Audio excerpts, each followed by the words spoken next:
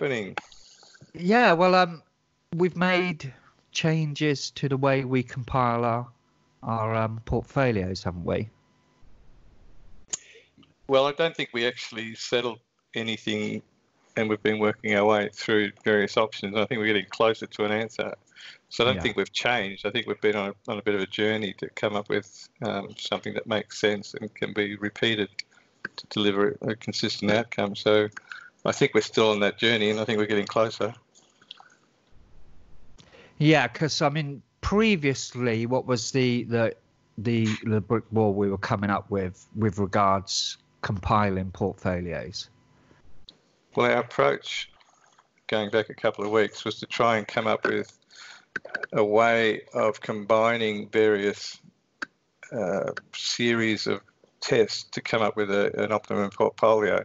And we thought at that stage the only way we could really do that was to try and iterate between all the various combinations. So if we started with with uh, a number of possible scenarios, what's the best way of combining those scenarios to end up with a portfolio of maybe 20 or 50 combinations which could be fed into a portfolio. But the reality is when we when we went and did our, our data mining exercise, we ended up with a a starting point of something like 20,000 possibilities. So to whittle it down from 20,000 down to 20 or 50 was an iteration process that uh, was just not feasible to be done. There's just too many combinations, and it would take years and years and years to come up with any sort of half reasonable answer. So we, we ditched that and we've opted for another approach where we've still gone through the same data mining exercise. We've still got our 20,000 various combinations, but now instead of taking the view that we need to try every possible combination, we've decided to just randomly select out of that possible pool of 20,000, come up with a random selection of however many we're looking for. And right now we've, we've decided we want to find 20, 20 combos that give us the best bang for our buck. And so we've, uh, we've ran, randomly selected that's 20 20, combos for each instrument. Yep. yeah, per instrument. So we're looking to see how we can combine 20 of those 20,000 to come up with the, the best MAR.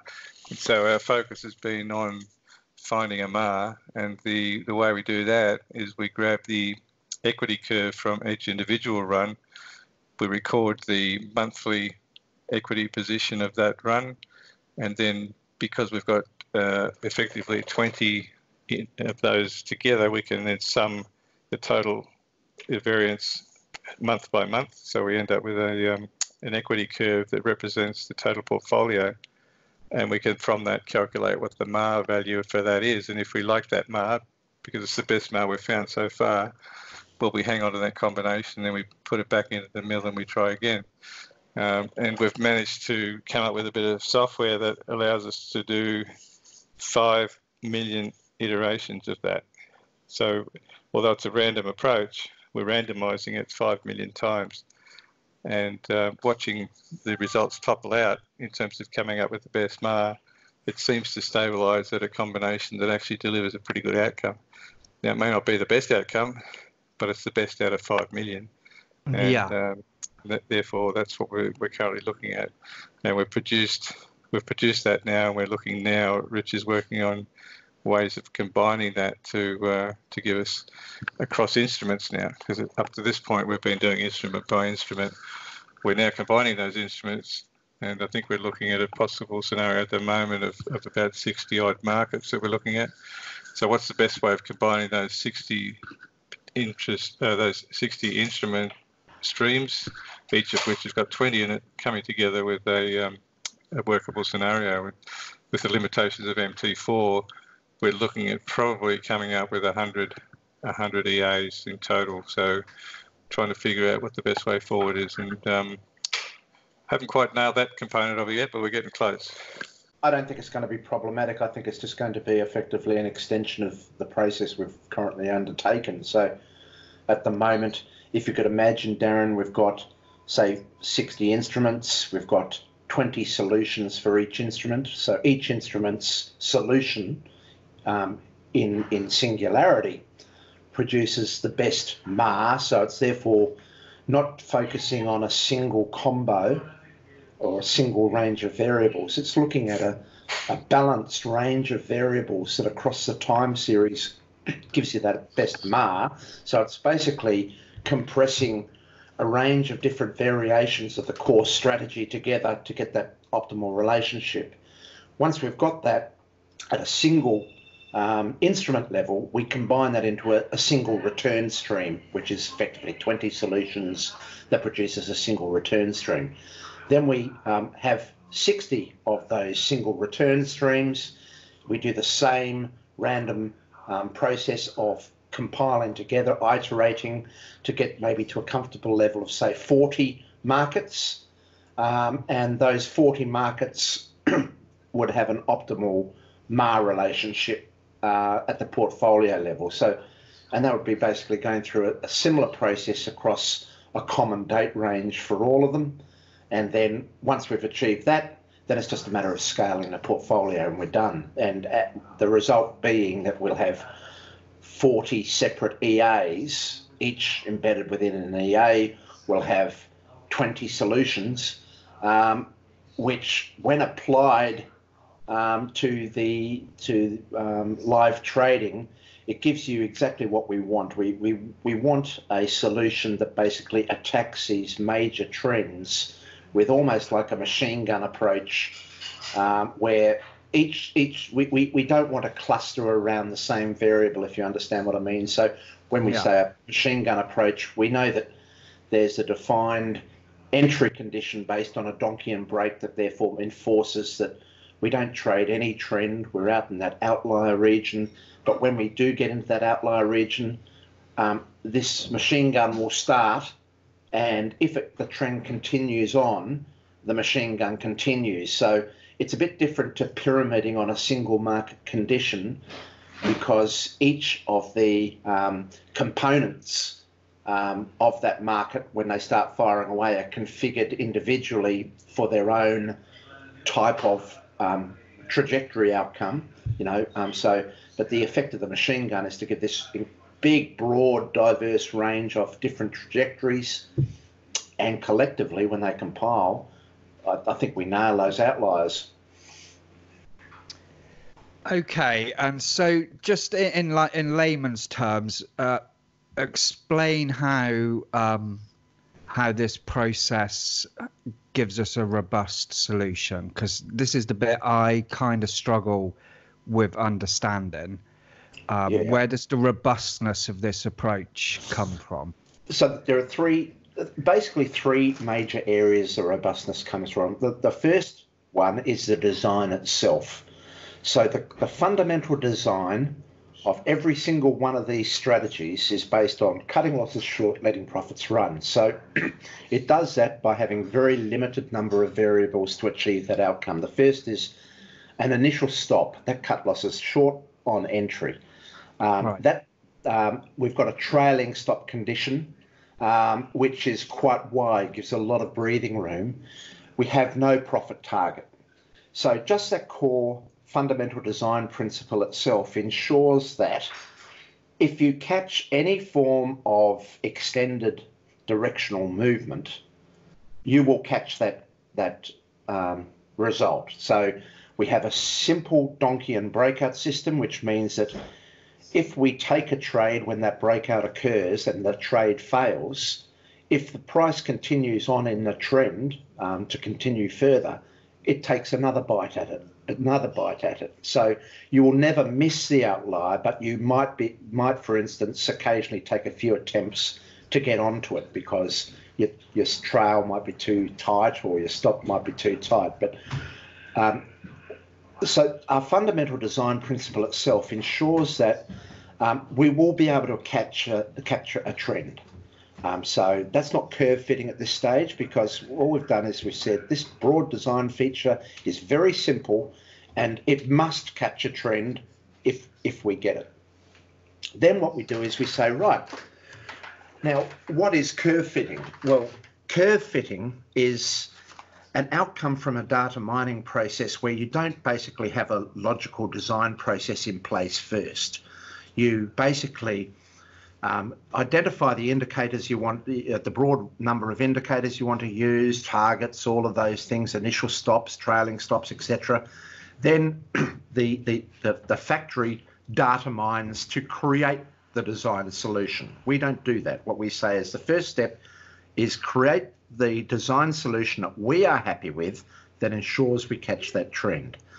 So in this process, then what we say is, right, we're not actually data mining a design solution because we've already created one. But now let's apply this solution not to a single market because um, if it works well on that single market, that could just be a curve fit response for that single market.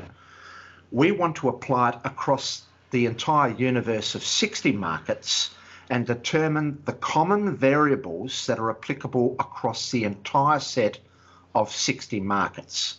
And this is this exercise we've done in the bias. So if you can imagine an outcome then where we get a, a narrower range of variables that have been successful over the 60 markets in, in total uh, broad terms, uh, we restrict what we can actually um, optimize, or when I say optimize, what we actually select for is restricted from that range that is applicable across the entire set of 60 markets. Now, so this is where the, the next important thing comes. We treat each market as basically a data stream.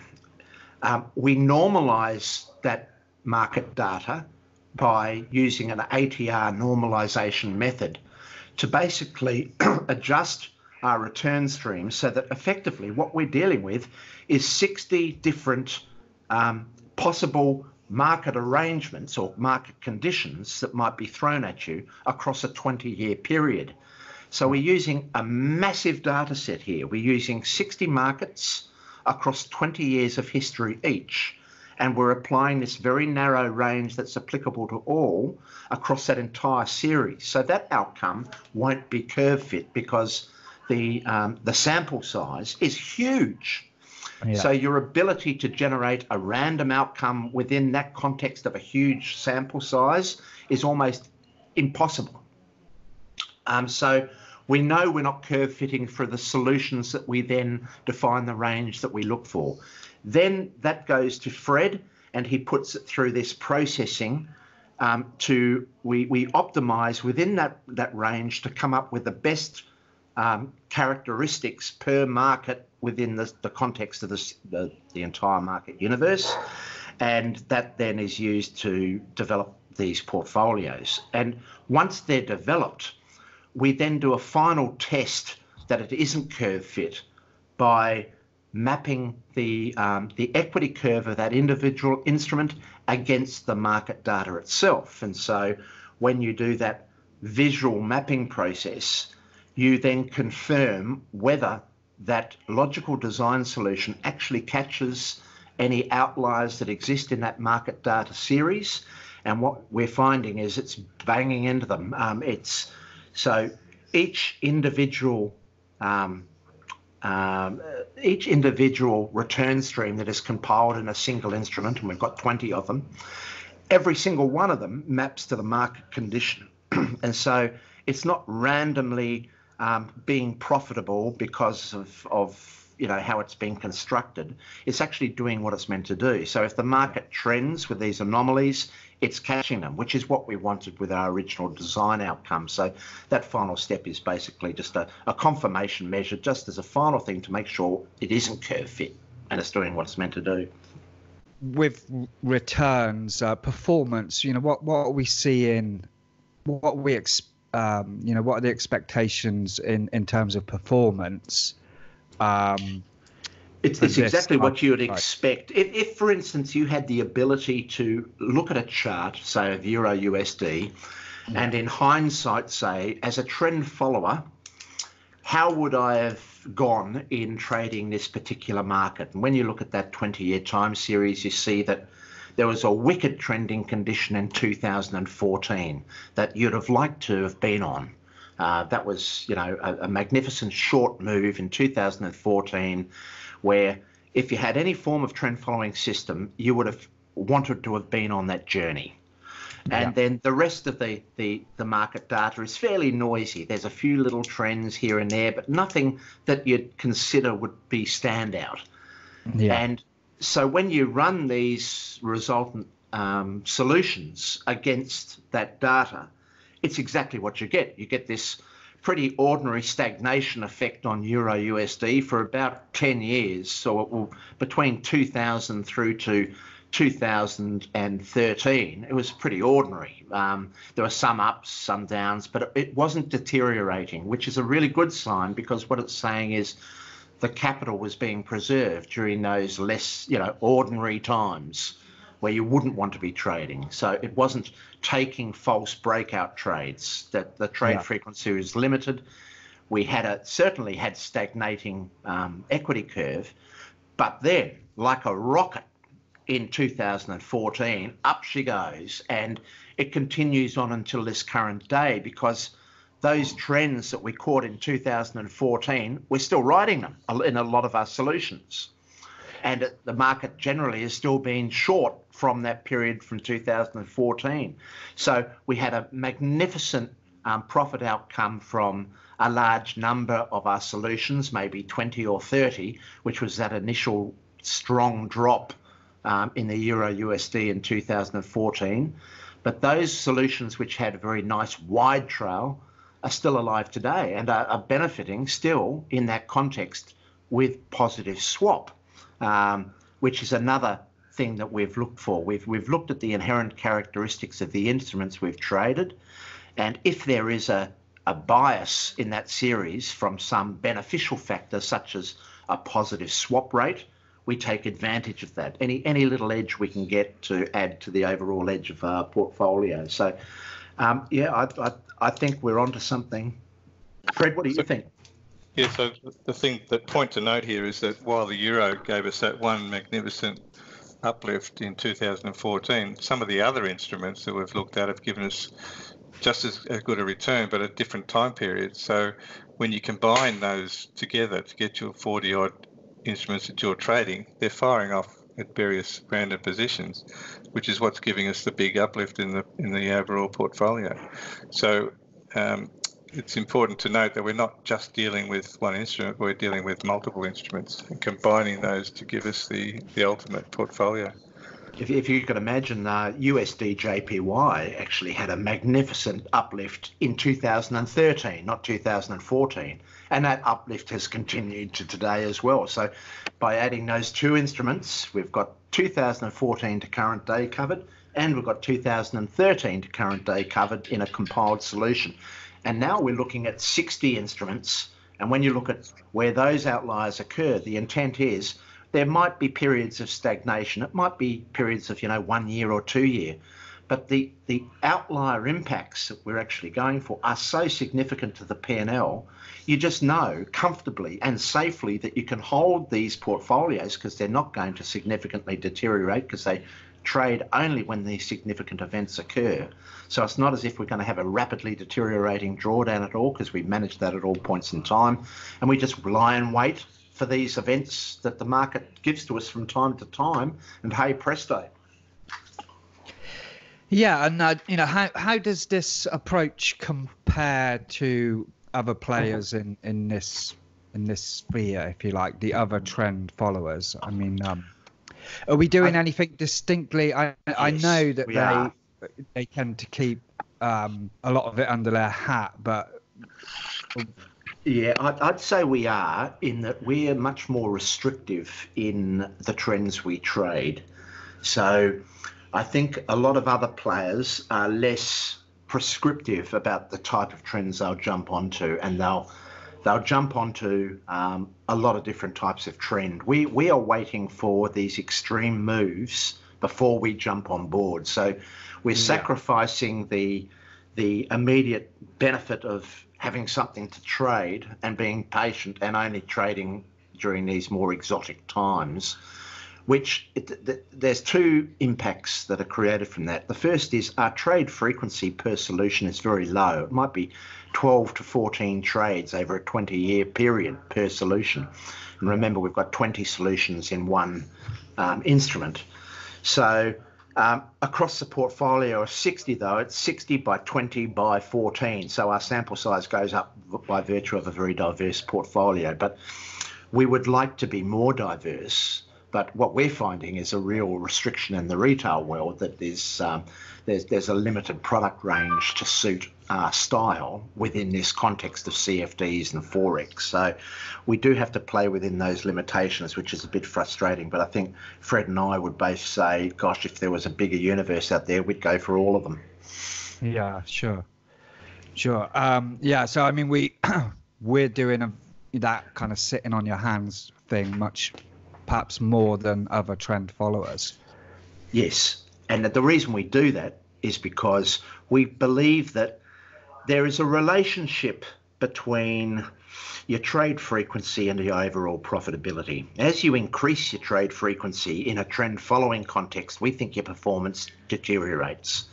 And that's because um, whilst you catch a far greater number of trends, um, in a lot of these efficient markets we're trading, there's a hell of a lot of noise and a hell of a lot of mean reversion. And that really means that the increased trade frequency basically means increased number of false breakouts, increased number of, of losses. And we, we when where we tend to predate is in that zone of extremity where our trade frequency is very low.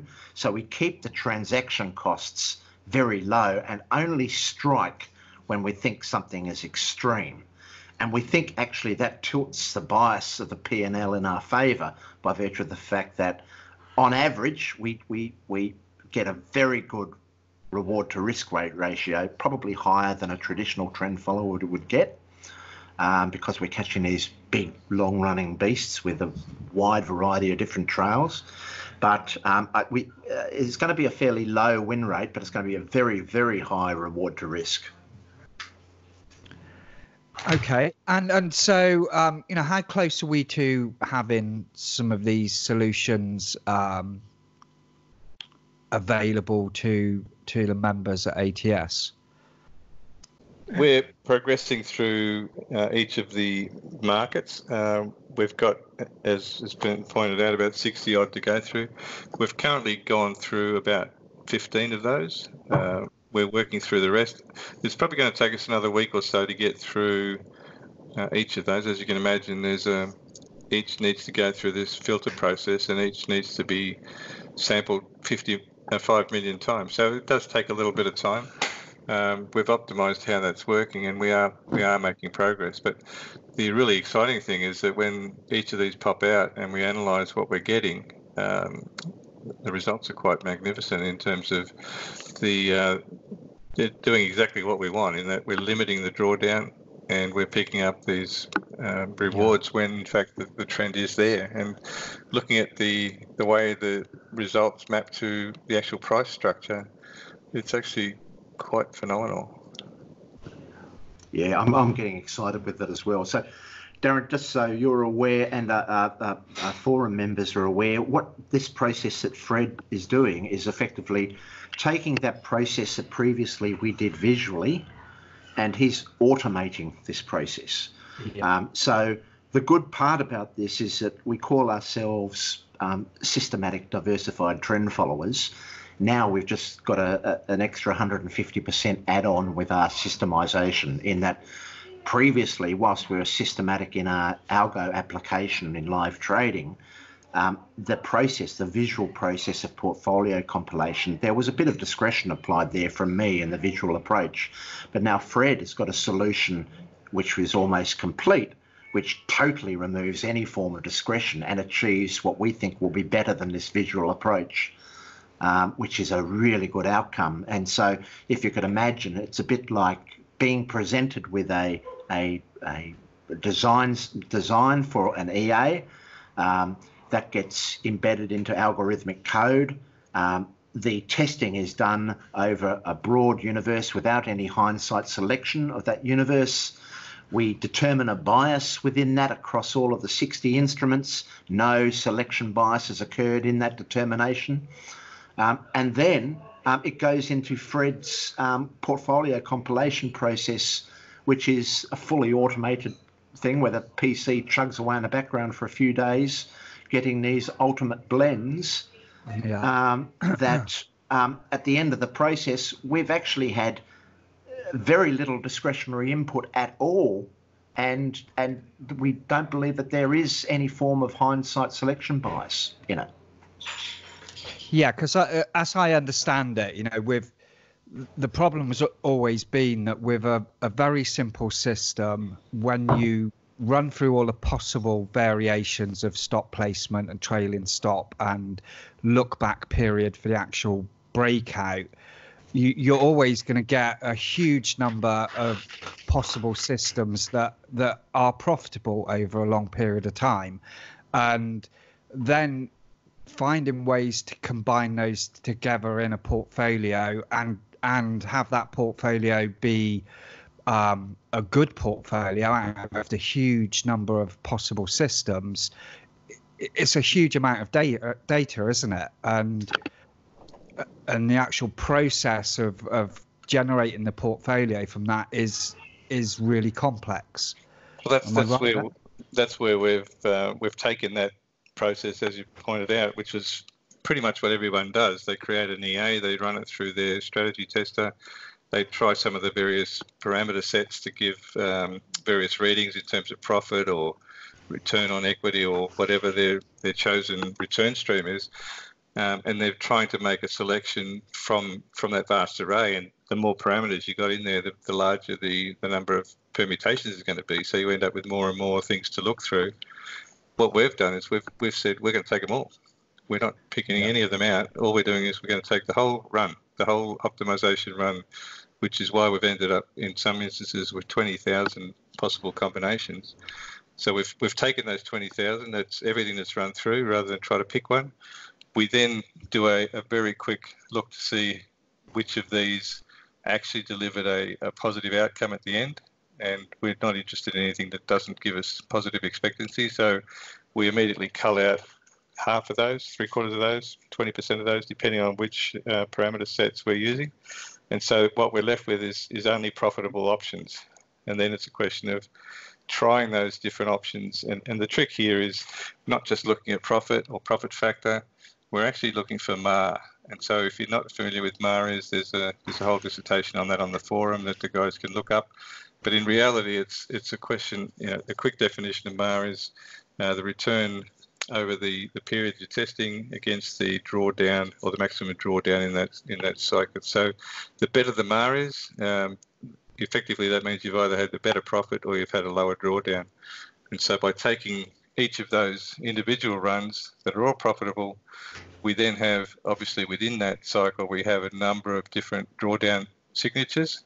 And so the first thing we do is we normalize all of those 20,000 to give us the same drawdown which means we, we adjust the lot size to give us the same drawdown overall, which effectively means that the, the MAR calculation in terms of relativity between the runs comes back to um, effectively what's the most profitable would give you the best MAR.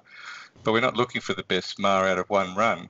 We're looking for the best combination of runs to give us the best overall MAR, which is wow. why we then we then randomly choose 20 of those 2,000 20,000, whatever we've got, combine those on a month by month basis to figure out what the equity curve would have looked like, and then what would that MAR, how would that MAR have been generated, what would have happened had we had that as our major combination. And we do that 5 million times. And so at the end of that, we've got the best out of 5 million iterations, and that's the one we've settled on. And so far, we haven't been let down, and that uh, everyone that we've tested, once we've created our our portfolio EA because we take all of those 20 solutions, put it back into one EA, and throw that one EA back into MT4 and look at the equity curve it produces. And it, it hasn't let us down, and it's it's mapped to market very well. So we think we're on a winner there. Yeah, I've, I've seen some of the uh, results uh, that you guys have been posting up, and yeah, it's it's pretty exciting times. It's just such a a million miles away from from probably where we all started and what we considered trading to be. Um, but yeah, look, one of the things I'd like to add here is that we've got no idea whether these uh, whether we're going to be profitable in the future. We're actually not looking for that because what determines our future profitability is whether the market has these outliers or not. If it doesn't have those outliers, we're not going to um, be, be profitable for that particular market. But what we want to make sure, because we're using this MAR, which is a, a risk adjusted metric, we want to ensure that if there are no outliers in that particular instrument, we want to preserve our capital. And so this solution we've got does that. It's looking at the risk adjusted performance to ensure that if there are no outliers for that particular market in the future, then we're, we're, we're just going to basically sit there with our capital with very little deterioration. Yeah. The drawdowns will not be ex- extensive. So we are still dependent on classical trend following diversified principles in that we need a broad range of different markets because in some of those markets there will be some outliers, but we just don't know when, where, or, or which.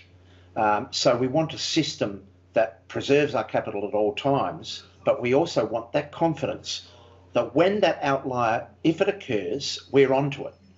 Um, and I think that the processes we've taken in our structural design logic, the processes we're doing with, with, with avoiding any sort of form of this hindsight selection um, bias, I think the outcome is, is exactly what we're achieving. And so that's why we're getting a bit blown away at the moment because we're seeing how it mimics. So it's catching these outliers that we want it to catch. And if there are no outliers, well, it just sits there spinning its wheels, not doing much, um, which is great. And that's what's making Fred and I pretty excited about this process.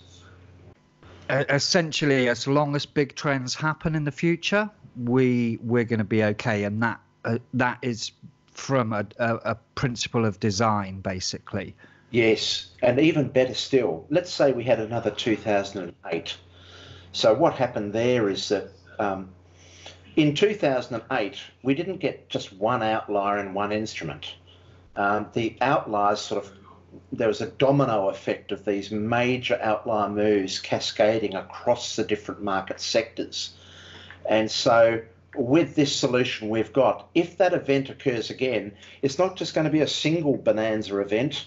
We're going to get it across 20, 30 markets. And that's where suddenly you know, kings are made, if you know what I mean. Um, and it's not going to be through any luck or, or you know, um, roulette spinning wheel or something. It's simply through a design principle that leaves us open to that possibility. Hey, Rich, why don't you uh, describe the Swissy trail that we did? Yes, so we in the Swiss, um, we uh, our, our, solutions were effectively long the Swiss because we were looking at positive swap. And over the time, over the last few years, at least quite a few years, um, the Swiss has enjoyed positive swap with our particular broker, Pepperstone. And we were long in these positions before the depeg. Um, when that depeg occurred, I think it was was it 2013 or 2014, somewhere around there, uh, the Swiss depeg. Um, yeah. Yeah. There was a massive move in the Swiss currency relative to the US currency. So we were trading the these um, USD um, CHF long. Yeah. Uh, we had this big drop, and we noticed that in the unrealized equity curve. We saw that, and we saw the impact. But because of our very wide cluster of solutions, some with very wide trails, um, we got through that with a bonus um, because it actually survived the the collapse without exiting some of our solutions and continued on to deliver the positive swap benefit over the next couple of years. So, so, so even if we're positioned wrong in these outlier moves, the damage is minimal. But if we're positioned correctly in the outlier moves, we make huge gains. Is that what you're saying? That's effectively what we're seeing. And if you can also imagine, um, because we're trading across 60 markets, um, our position sizing exposure when trading a diversified portfolio is relatively small per instrument. So, yes, we did observe this effect on Swissy where we were positioned incorrectly with the collapse, but um, the risk mitigators of our system design started kicking in. Firstly, we had a, a low total exposure to USD Swiss by virtue of our wide diverse universe that we were trading. Um, secondly, because of our diverse array of wide trails, not all of them get triggered. Some of them did. Some of them we took a hit on, and you can see that in the in the curve. But yeah. the ones that were retained just rode through that spectacular event, and that was a major event. And we got through with flying colours where the equity curve lifted, uh, but over the course of two years beyond that event. It sounds to me that our approach here kind of aligns a lot with Taleb's um, in Taleb's Black Swans, where you know he says that it's it's really how you how you deal with these these sort of major outlier events that that's going to decide whether you survive or profit in the future. So yes. it sounds like we're aligning a lot with his his um, thesis. Uh. Absolutely, and you know, uh, uh, I've thought about this myself, and you know, it, if we look at a complex system such as our financial system or we look at a complex system such as our natural system or our environment, the world, you realize that the major changes aren't gradual in nature. The major changes occur through these exceptional changes, instantaneous changes. So change isn't a continual gradual process. It, there are abrupt periods of time where change is significant. So when you look at evolution of the species, you start reading about Charles Darwin, and then you start uh, getting involved with, um, you know, some of some of the, the, very notable people that have, um, you know, hypothesized what's going on, and they talk about these extinction level events, which are the major causes of change and speciation. And you know, we had the the dinosaurs wiped out, uh, or the land-based dinosaurs effectively wiped out in a particular period of time, leaving this vacant possession for the, the mammals to start dominating. And that was a major speciation event where we suddenly got this explosion of different types of mammal species. And then a bit later on, there was another form of extinction level event um, uh, which suddenly causes speciation to change. So if you look at our evolutionary track record, you realize it's a punctuated equilibrium. It's not a gradual change. There are moments in time which are more important than others. And when you look at the financial markets, you start realizing that long-term wealth is not a gradual thing. It occurs with these abrupt, non-linear um, outcomes, uh, which which are a handful and you can't predict them. You never know what they are, but you've got to participate in them. And so when you look at then the most successful investors in the world, like Buffett, Soros, etc., they owe their complete fortunes to effectively maybe three or four outlier events over their entire life, which they would never have predicted, but they participated in. But that was yeah. actually the reason for their long-term wealth. Not not that it's not the small change. Um, that small change could lead you any path, might be random effectively over the course of many, many events, but it's these major outliers that I think that that's why we're focusing on these outliers is we, we, we have a firm belief like Taleb that it is the fat tails that basically dominate um, a complex system's overall outcome or emergent outcome.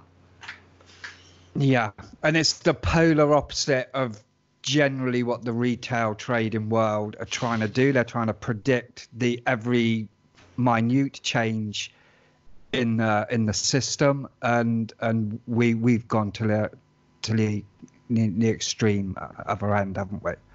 We have because you know, you know sometimes I question the fact whether even any form of prediction is actually something that we uh, our brains want us to do, but yeah it might be contrary to actually what you're trying to achieve. Um, yeah. I, I, often question that, and I sometimes think that, you know, it's like coin flips. You can't avoid that there'll be successful people who've flipped a coin 200 times and been very successful, but it's not through any causative agent. It's through luck alone. And yeah. but but that the, the the impression is that what you're doing is actually causational because you'd like to think that you're right for a reason.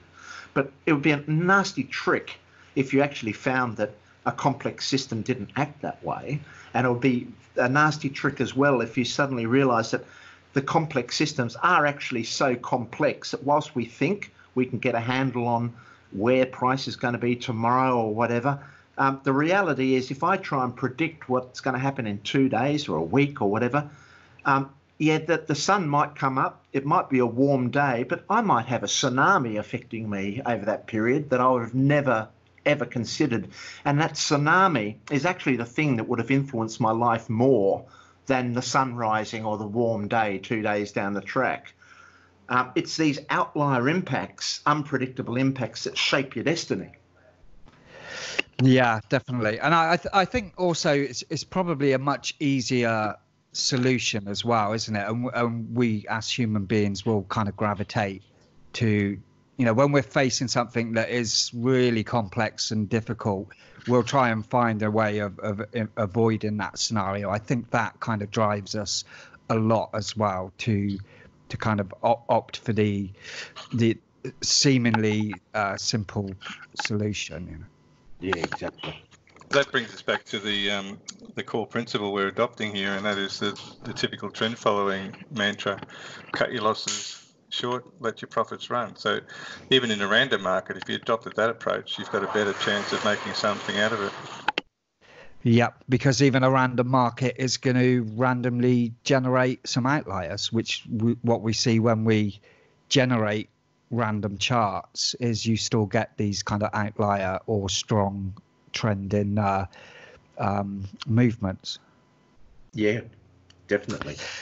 Cool, guys. Um, it's been great catching up because I, have been out of the loop a bit, and you two have, have been crunching data like mad. And um, it's been great chatting to you today, and look forward to our next podcast.